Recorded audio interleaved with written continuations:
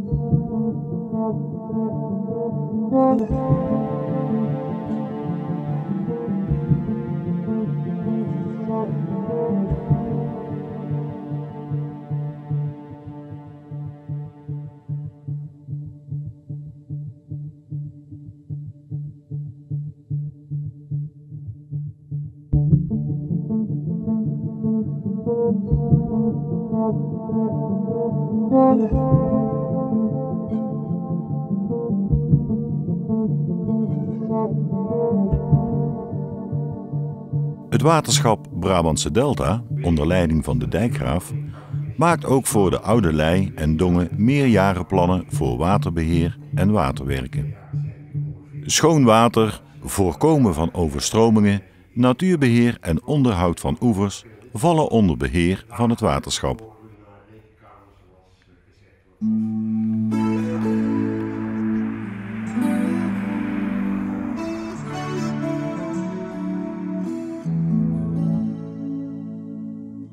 Een laaglandbeek als de Oude Lei kenmerkt zich door greppels, geultjes en ondergrondse stroompjes die samenkomen om een beek te vormen. Haar geschiedenis begint tienduizenden jaren geleden in de nevelen der tijd.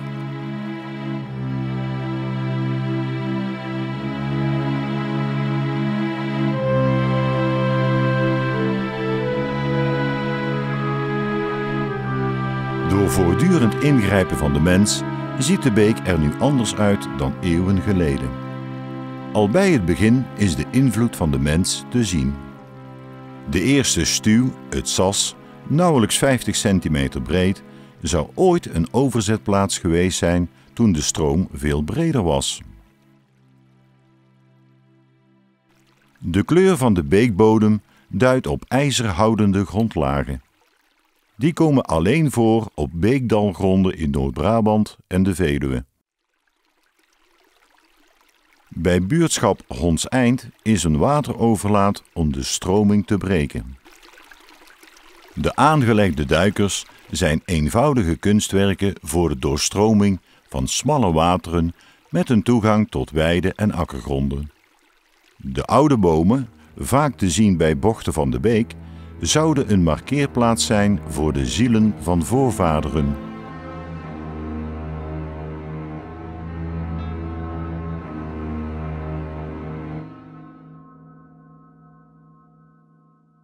Bij Ooievaarsnest beginnen bosachtige recreatie- en wandelgebieden.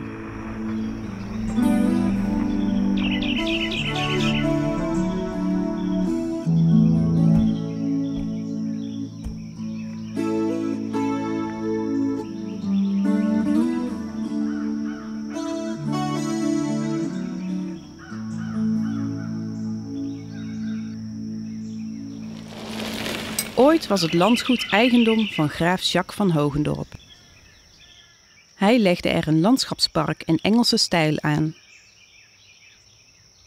Het 134 hectare grote gebied is nu eigendom van Brabants Landschap en door deze stichting teruggegeven aan de natuur. De schaapskooi is nog onder beheer van graaf Jacques gebouwd. Hij stierf op 61-jarige leeftijd in 1845 door een val van zijn paard. De moerascypressen, ooit in het landschapspark geplant, groeien nu in hun natuurlijke omgeving verder. Een zeldzaamheid in Nederland. De waterstand in het moerasgedeelte direct langs de Oude Lei wordt door regenval bepaald en in de gaten gehouden door het waterschap. Als de zomer hier overgaat in de herfst, is het een feest van kleuren en zonnestralen die zich een weg banen tussen de bomen. Dit toverachtige pad, waarlangs ook gagel groeit, leidt naar wat wellicht ooit een duivelsput was. Nu een waterplas die in open verbinding staat met de oude lei. Soms trilt het ven en klinkt daarna in de kerstnacht uit de duivelsput klokgelui. Voor een dergelijke klok gewijd was door een priester, werd zij soms al geluid en kwam zo onder invloed van de duivel. Die wierp zo'n klok in een ven. Tot op de dag van vandaag spookt het op die plekken. Het moerasgebied na het Ven heeft nog steeds die geheimzinnige sfeer van demonen, duivelsgebroed en griezelverhalen, tot er over het plankier vriendelijker oorden in zicht komen. Een smalle strook schrale grond na het plankier gaat ook hier over in een bosachtig gebied. Daarbinnen ligt het landgoedje Muldersnest. De woning is voor de Tweede Wereldoorlog gebouwd in opdracht van professor Dr. Molenaar, lid van de Eerste Kamer voor de VVD.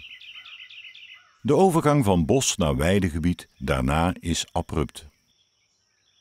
De overkant met de hooggelegen heide is hier goed te zien. Het Beekdal met ecologisch beheerde weilanden is waarschijnlijk 70 tot 10.000 jaar geleden door uitschuring ontstaan in de nog bevroren ondergrond.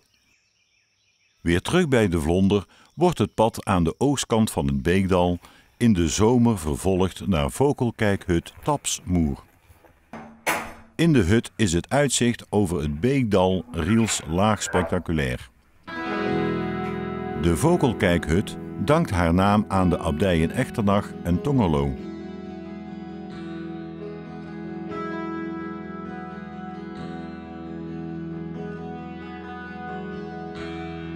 Tapsmoer is gebouwd door leerlingen van het ROC in samenwerking met Brabants Landschap.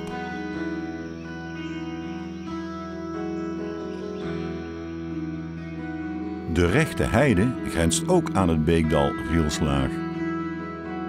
Het heidegebied is beschermd en is doorkruist met wandel- en ruiterpaden. Als de heide bloeit, vindt er honingwinning plaats. Bijzonder is dat het gebied van droge en voedselarme heide over een korte afstand overgaat naar een laag en nat voedselrijk beekdal waar boerenbedrijven zich vestigden. Een dergelijke overgang is zeldzaam in Nederland.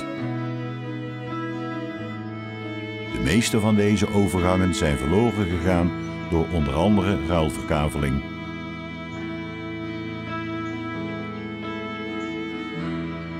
Het zogenoemde Witte Brugje over de Oude Lei was ooit een voorde, een doorwaadbare plaats waar mensen met hun dieren door konden trekken.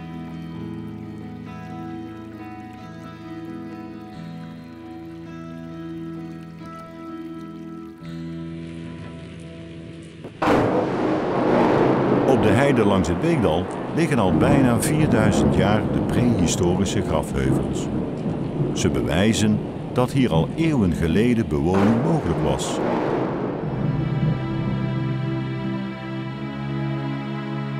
Bij zonsopkomst hangt hier een bijna magische sfeer. Het volgende verhaal onderstreept dit. Vroeger gebruikte de jeugd de graven om er met bromfietsen over te crossen. Het verhaal gaat dat de geesten van de overledenen daarover zo verstoord waren dat ze als spoken rond de grafheuvels zweefden. In 1980 zijn ze gerestaureerd en met palen omkranst, zoals dat oorspronkelijk ook gedaan werd. Na een paneel met informatie over het gebied is de overgang van natte naar droge grond het best te zien. Door begrazing wordt deze overgang steeds natuurlijker. De hier verbrede beek, met op de achtergrond de kerktoren van Riel, wordt druk bezocht door vogels. Langs het pad staan poosplaatsen in de vorm van kubussen met gedichten, gemaakt door dichters uit de omgeving. Aan het einde van het pad eindigt het beekdal in een ven. Riel is nu dichtbij. Het is het eerste dorp waar de nu weer smalle beek doorloopt. De Oude Lei wordt door velen vanaf het eerste stenen brugje over de beek al Dongen genoemd. Vlakbij de stroom staat een zogeheten Vlaamse schuur. Deze schuur had geen boerderijfunctie, maar diende om vee onder te brengen op weg naar de veemarkten.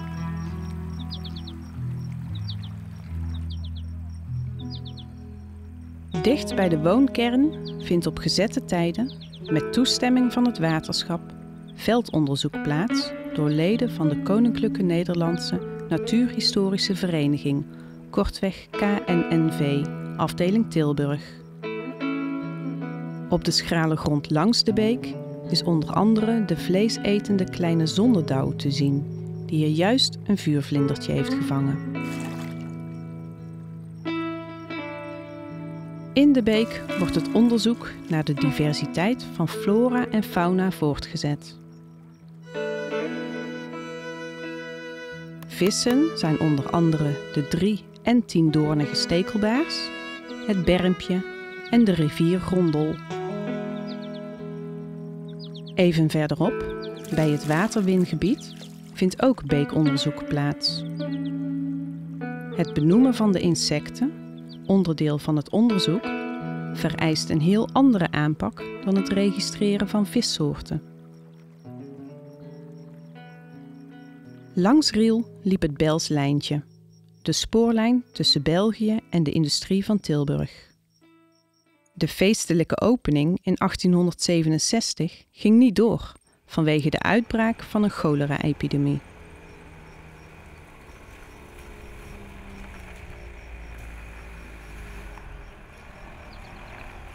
Museum Erfgoeddepot aan de Dorpstraat in Riel had destijds een expositie over de spoorlijn met attributen.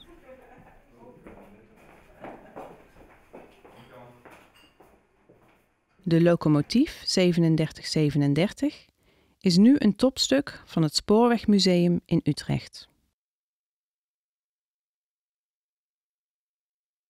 Langs de spoorlijn stond bij Tilburg de muziekinstrumentenfabriek van Kessels, die later overging naar de familie Passier. Daarvan heeft het museum een fraaie collectie instrumenten.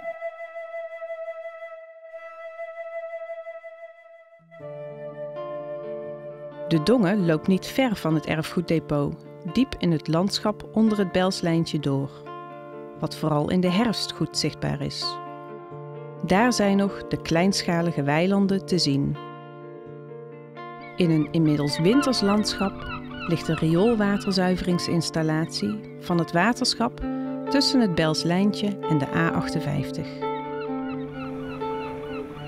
Het hele jaar door wordt in vier stappen het binnenkomend rioolwater, het influent, gereinigd. Het gereinigde water, het effluent, wordt weer teruggepompt naar de beken, sloten en rivieren, het zogeheten oppervlaktewater. Het opgevangen slip wordt in de RWZI van Breda verbrand, waarna slechts 2% restafval overblijft. Na de rioolwaterzuiveringsinstallatie stroomt de beek door akkerlanden en door een grote duiker onder de snelweg A58. Daar passeren bij Tilburg per dag tussen de 80.000 en 90.000 voertuigen. Ten noorden van de snelweg begint het natuurgebied de Kaaistoep. De Kaaistoep is het meest onderzochte stukje natuur van Nederland. Daar doet de gelijknamige werkgroep van de KNNV afdeling Tilburg twee keer per jaar onderzoek naar het oprukken van de Californische rivierkreeft, een exoot die zich gemakkelijk voortplant. De kreeft bedreigt de natuurlijke populatie van de beek. Hoe de kreeft in de beek is gekomen is niet met zekerheid te zeggen. Eveneens telt en benoemt de KNNV afdeling Tilburg insecten. Insecten zijn altijd zespotig, in het Latijn aangeduid als hexapoda. Een spin is dus geen insect.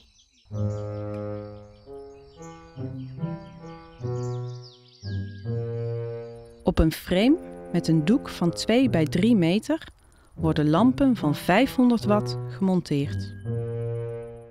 Het licht trekt na zonsondergang allerlei insecten aan, waaronder nachtvlinders, waarvan een deel voor verdere determinatie gevangen wordt met een zuigbuis, speciaal voor dit doel ontworpen.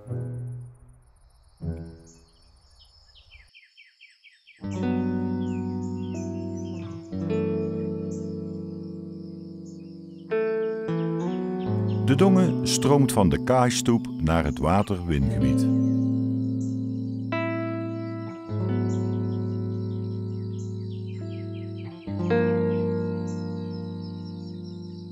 Brabant Water bezit 2200 hectare grondgebied in Brabant, waarvan 1500 hectare natuurgebied is.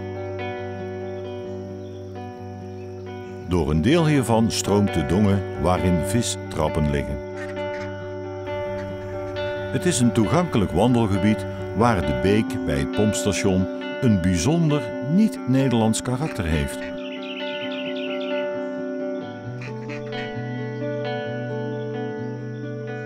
Dit deel van het waterwingebied wordt het water op een diepte van 116 meter opgepompt. Vanaf de gemeentegrens van Tilburg is de beek geïntegreerd in een ecologische verbindingszone, EVZ, die dwars door de Reeshof loopt. Voor de bouw van die stadse nieuwbouwwijk lagen hier landbouwgronden. De voedselrijke teeltlaag daarvan is afgegraven om een schraal milieu te scheppen. In het jaar 2000 was het nog een zandvlakte met waterplassen. Als eerste zagen de bewoners mossen, grassen en oeverplanten, gevolgd door de eerste vogels. Het gebied staat niet stil in haar ontwikkeling. In 2012 is een oeverzwaluwenwand geopend met daarin insectenhotels.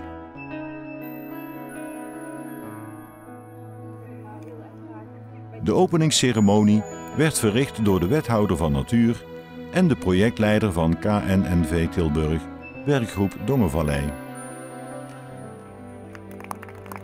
Hij kreeg de groene handdruk uitgereikt voor de bijdrage aan de biodiversiteit en de duurzaamheid in het gebied.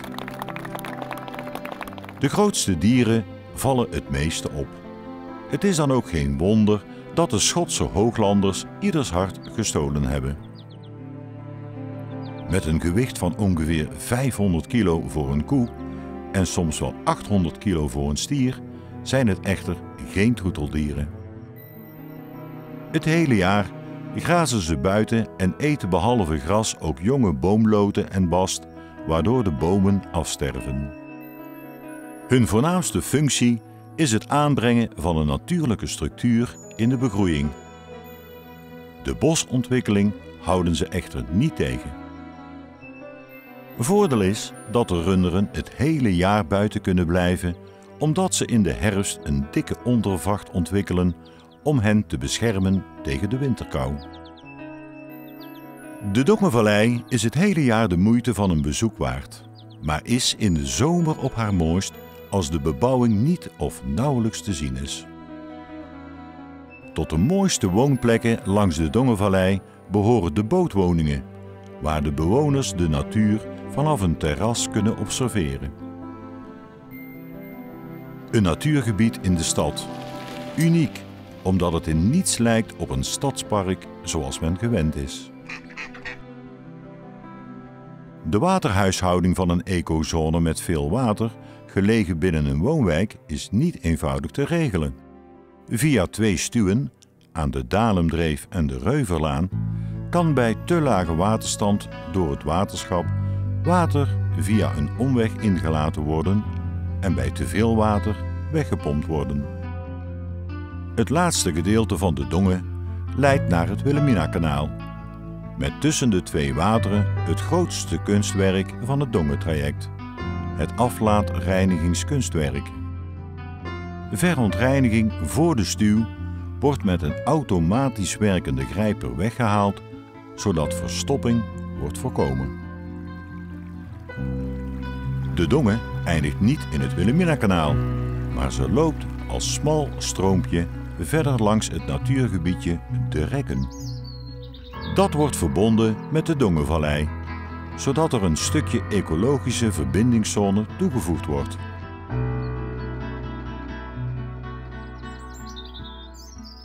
Een klein gedeelte van de rekken, gelegen tussen het Wilhelmina-kanaal en de Donge, is bijzonder. Op de dode bomen groeien tonderzwammen. Hierin bevindt zich een licht ontvlambare stof die voor de uitvinding van de lucifer werd gebruikt om snel vuur te maken. Verderop loopt de Dongen naar een industrieterrein in de plaats Dongen. Door industrieterrein Tichelrijd loopt de Dongen als een ongeveer 4 meter brede beek eveneens naar het Wilhelmina-kanaal. Daar stroomt het water door twee sifons onder het Wilhelmina-kanaal door richting Dongen. Aan de overkant komen ze beneden aan de kanaaldijk weer tevoorschijn. Het verschil in hoogte van de Dongen met het Wilhelmina-kanaal is hier goed te zien. Hier zou kunstenaar Jan van Lisdonk graag een toegangspoort zien met het symbool van stromend water als goud voor de toekomst en bron van alle leven. Het riviertje loopt dwars door het dorp langs de terreinen van de oude leerlooierijen. Zeker tot 1940 lag 25% van de looierijen in de Langstraat in Dongen. De familie van den Assem speelde hierin een belangrijke rol. De looierijgebouwen en een droogzolder zijn vanaf de weg zichtbaar. De schoongemaakte huiden werden aan een haak naar de droogzolder gehesen. De luiken zorgden voor het doorluchten om het droogproces goed te laten verlopen. Het terrein is nog steeds familiebezit. Al vanaf 1623 woont en werkt de familie van den Assem in Dongen. Een belangrijke opdracht in de jaren 30 van de vorige eeuw was het vervaardigen van laarzen voor de walvisvaarder Willem Barends. Nu worden er alleen nog huiden geleverd aan de klanten. De functie van de looiputten, waarin de huiden met natuurlijke looistoffen twee jaar verbleven, is door de ontwikkeling van synthetische looistoffen inmiddels teruggebracht tot twee dagen. Op het terrein werkt ook Jan Krol enkele dagen per week als orthopedisch schoenmaker. Een precies werk waar een lange opleiding voor nodig is. Het beroep is ontstaan na de Eerste Wereldoorlog, toen tienduizenden mannen, invalide en kreupel thuiskwamen en met orthopedische hulpmiddelen toch weer konden werken.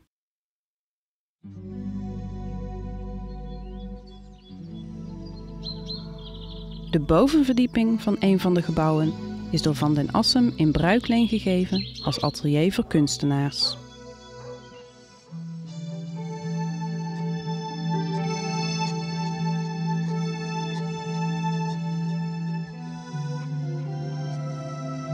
Een van hen is Niels Ballemans, geboren en getogen in Dongen. Het decor van zijn jeugd is nu het decor voor zijn inspiratie hier ontstaan zijn werken.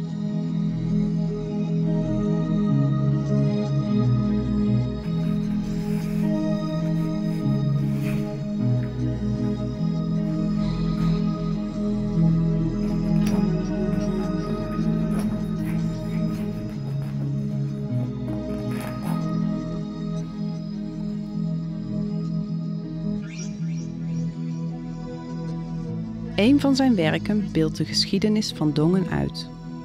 De Dongen heette eeuwen geleden A en liep langs een zandige ophoping, een donk. Donk A werd in de loop der tijd Dongen.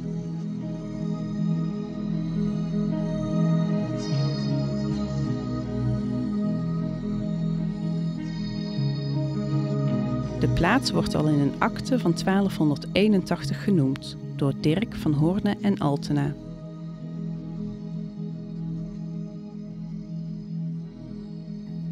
Verderop, als buur van de leerlooierijen, staat het gebouw van de missionarissen van Afrika.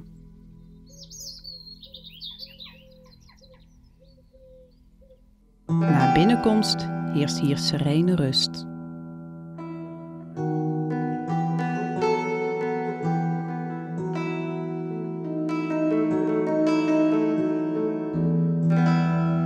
De gebrandschilderde ramen in de kapel zijn door de paters zelf gemaakt.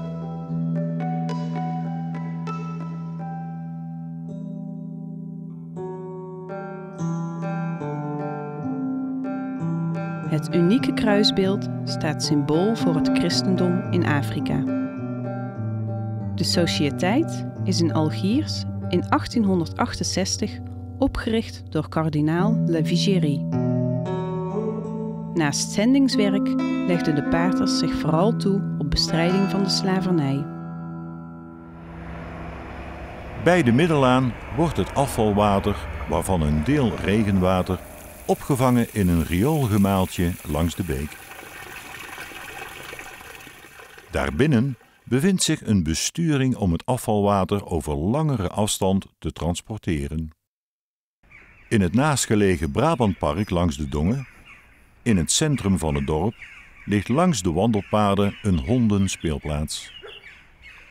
Over het water ligt zorgcentrum De Volkaart. Wouter Volkaart was de eerste heer van Dongen die zijn eigendom in 1281 in leen gaf aan Willem van Hoorde.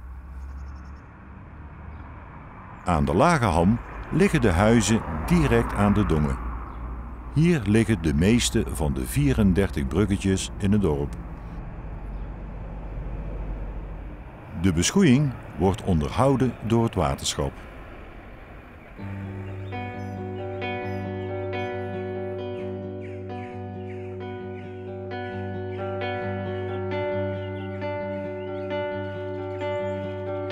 Aan de Lage Ham woont kunstenaar Jan van Lisdonk. Zijn inspiratie, naast water als bron van leven en kunstzinnig hergebruik van oud materiaal, is ook het leerlooien en haar producent, de koe. De iets verderop gelegen korenmolen, niet ver van de oever, is de enige molen die nog langs het Dongen-traject staat. Maar al buiten actieve dienst sinds 1942. Aan de Lage Ham stonden oorspronkelijk boerderijen. De toepasselijke straatnaam betekent laaggelegen grasland in een rivierbocht of aan het water. De Watertorenstraat is de enige weg langs de Dongen geplaveid met kasseien. De watertoren is in 1923 gebouwd en heeft een waterreservoir van 500 kubieke meter. Een verzetsgroep heeft in de Tweede Wereldoorlog voorkomen dat de toren werd opgeblazen door de springstof in de dongen te gooien en ontstekingskabels door te knippen. Binnen het zicht van de watertoren ligt het Rode Brugje, het laatste van de 34 bruggetjes in Dongen over een afstand van 3 kilometer. De hier dichtbij gelegen Onkelsloot is een van de zijtakken van de Dongen.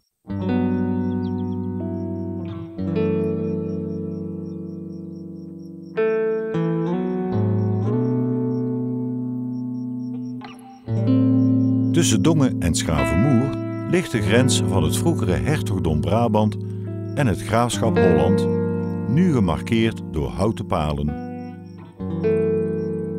Achter Schavenmoer liggen nog vrij hoge dijken, een restant uit de tijd dat de Dongen nog in open verbinding stond met de Amer en er getijdenwerking was. Scheepvaart was toen vanaf hier mogelijk.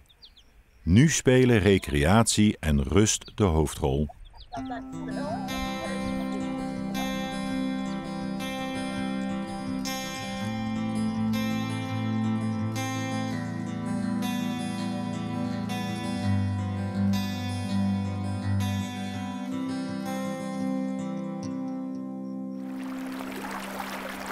Na de laatste stuw is er geen stroming meer.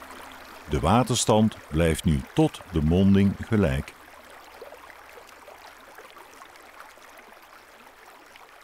De fietsroute, kronkelen langs de Dongen, uitgezet door het waterschap, loopt voor een deel langs dit fietspad en over de stuw. Verderop is een van de mooiste uitzichtpunten over het water.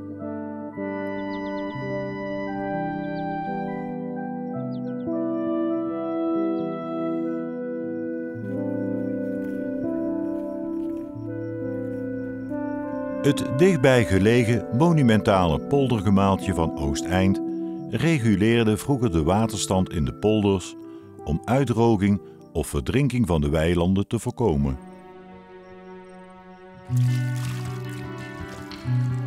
Winter achter Raamsdonk heeft haar eigen schoonheid. Het is een van de 30 stiltegebieden in Noord-Brabant waar gemotoriseerd verkeer verboden is.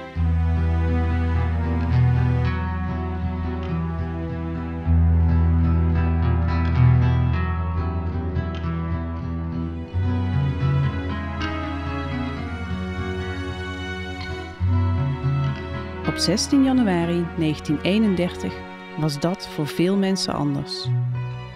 De toen nog dienstdoende dijk brak door. Het dorp overstroomde. Het vee werd zoveel mogelijk binnengehaald. De noodklok werd geluid. Zelfs de landelijke pers besteedde hier uitgebreid aandacht aan.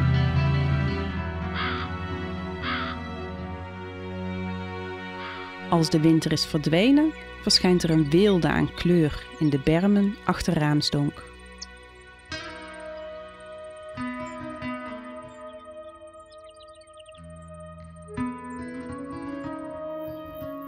De witte wereld van ijs en sneeuw heeft plaatsgemaakt voor de voorbode van de zomer. Bij Raamsdonksveer is het pad overkoepeld door het viaduct van de A27.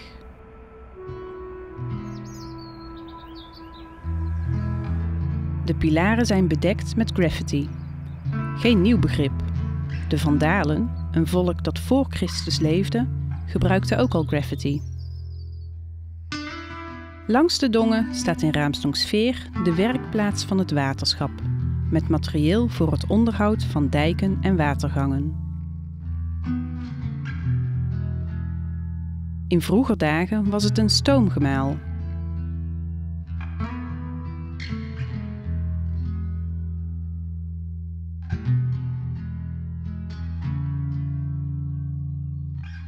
Een mooi stukje dongen naast de werkplaats is door de hoge ligging van de weg nauwelijks te zien. Om het water open te houden en de oevers te onderhouden, wordt onder andere de maaiboot gebruikt.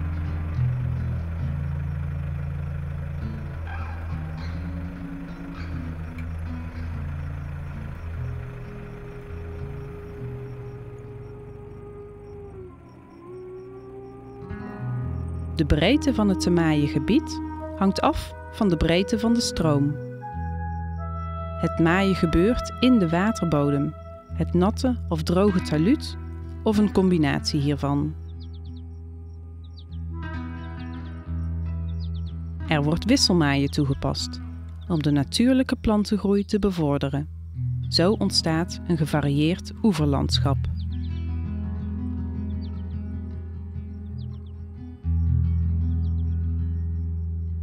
Het water is hier al op winterpeil.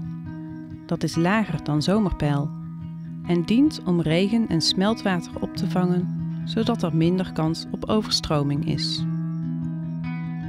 Er wordt gemaaid tot de afdamming bij de A59 en terug.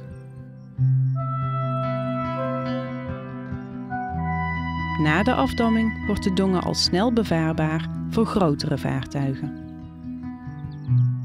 De hoogste dijk langs de Dongen, na het viaduct van de A59, dient voor bescherming van het achterliggende gebied. De in beton gegoten zandzakken staan symbool voor de dijkverhoging en verbreding in 1994. Medewerkers van het waterschap rijden hier regelmatig inspectierondes.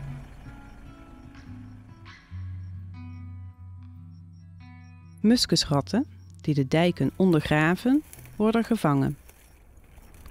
Doden is nooit fijn, maar helaas noodzakelijk om ons droge voeten te laten houden.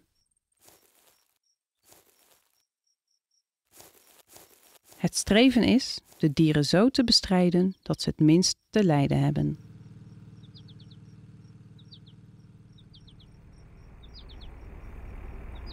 Na de verbinding van het Wilhelmina-kanaal met de Dongen ligt een industriegebied.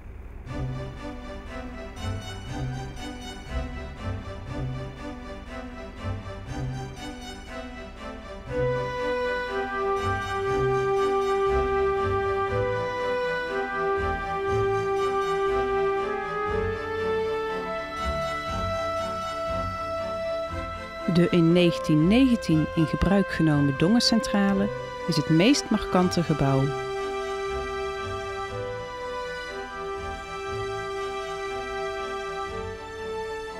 Hier wordt nog gips geproduceerd.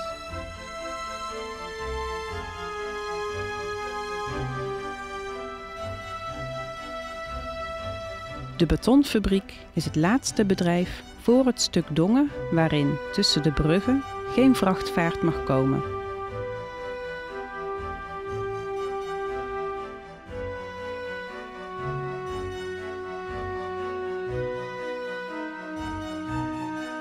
De woonbastions in Geertruidenberg tussen de bruggen liggen op terpen. De ruimte rondom de terpen is bedoeld als overloopgebied bij extreem hoog water. Het is onderdeel van het project Ruimte voor de rivier.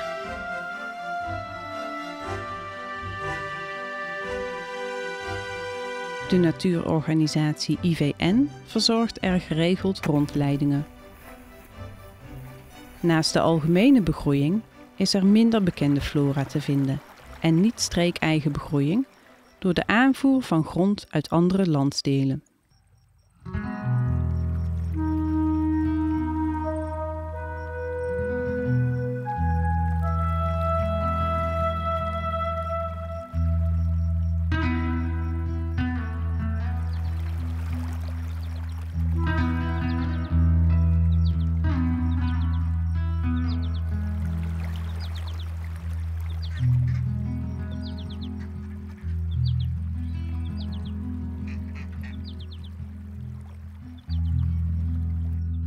Achter de hoge dijk van Raamsdonksveer ligt de wijk Herenland, grenzend aan het oude Sandoel. Een stukje Sandoel, dat in 1953 zwaar getroffen werd door de watersnoodramp, is nog te zien. Terug op het water kan na de loopfietsbrug, de verkeersbrug en een stuk oude spoorbrug aangelegd worden in de passantenhaven van Geertruidenberg.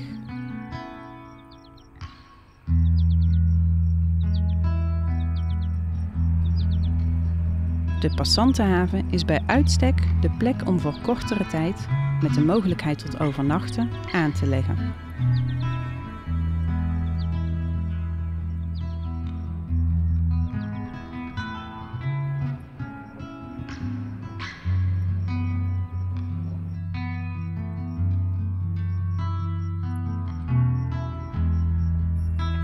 Het winkelcentrum van Raamsdonksveer ligt op loopafstand en in deze plaats is alles te koop voor dagelijkse en niet-dagelijkse boodschappen.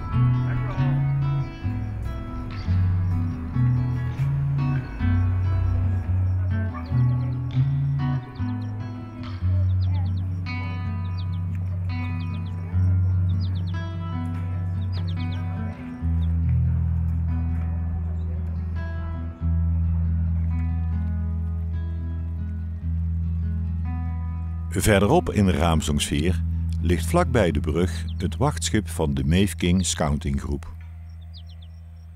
Zij hebben hun onderkomen in Fort Lunette.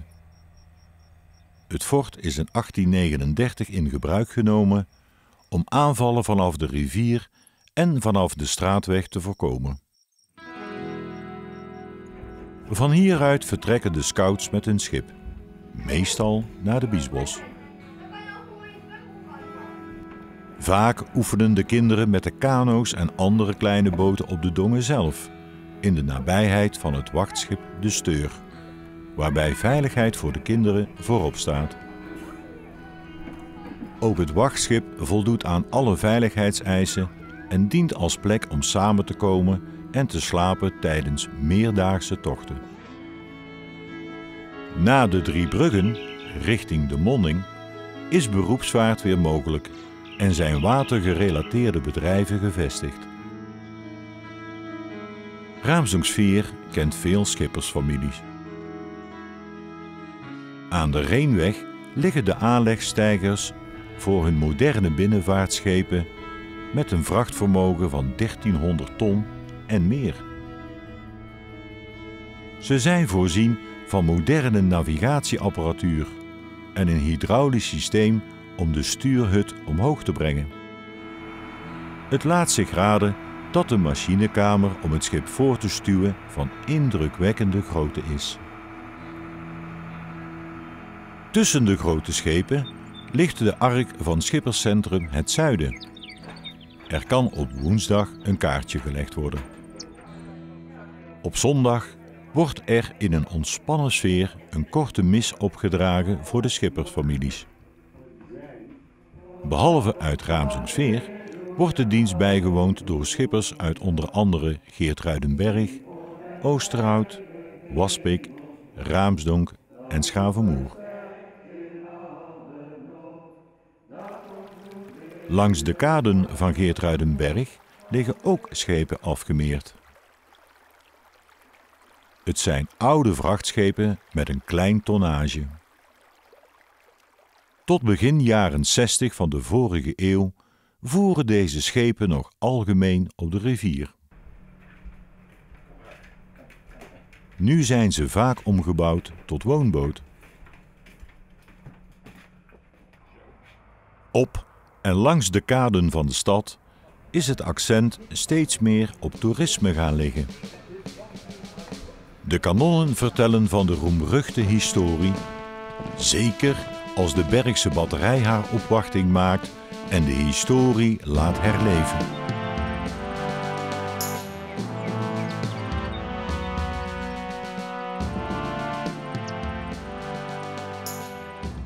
Er zijn verwijzingen naar de vroegere industrie en visserij in de vorm van kunstwerken.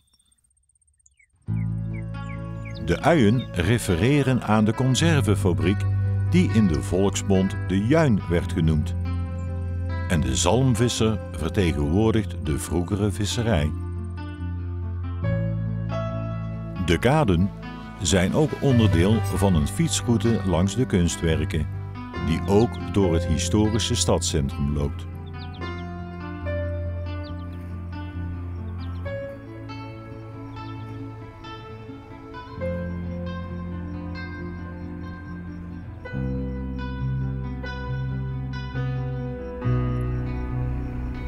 Terug in de passantenhaven weer het water op.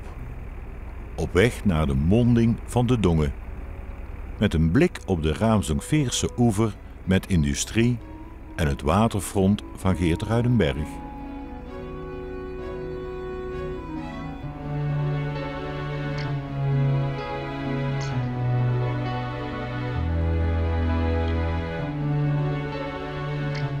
Na nog een inkijk in de jachthavens komt de laatste industrie in zicht.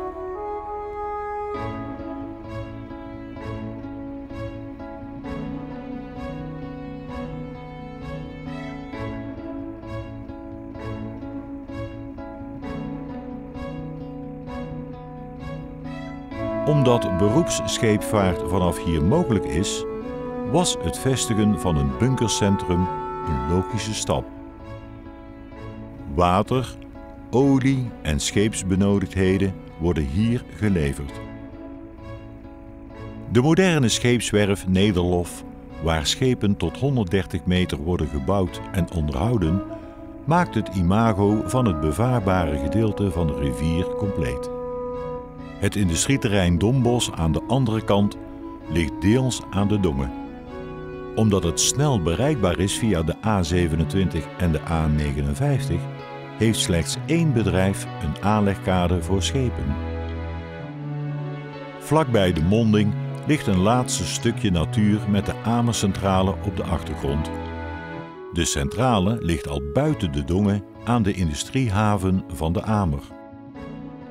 In de nu brede Dongen liggen de vaargeulmarkeringen voor de vrachtscheepvaart.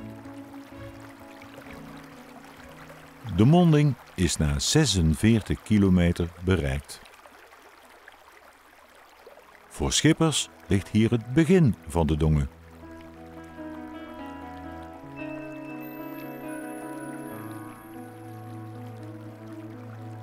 Bij zo'n vrachtschipper aan boord is de monding van de rivier imposant in vergelijking met de smalle beek waar de stroom begint. Denken we terug aan de reis, dan laten de dongen en aansluitend de oude lei zien wat zij betekenen in het heden en betekenden in het verleden. Het heden biedt de bewoners langs de oevers mogelijkheden, zoals ze dat ook gedaan heeft voor haar vroegste bewoners. Dorpen en steden, cultuur en industrie ontwikkelden zich tussen de diversiteit van prachtige natuurgebieden. Ze duidt in alles wat water is, bron van ons bestaan op aarde.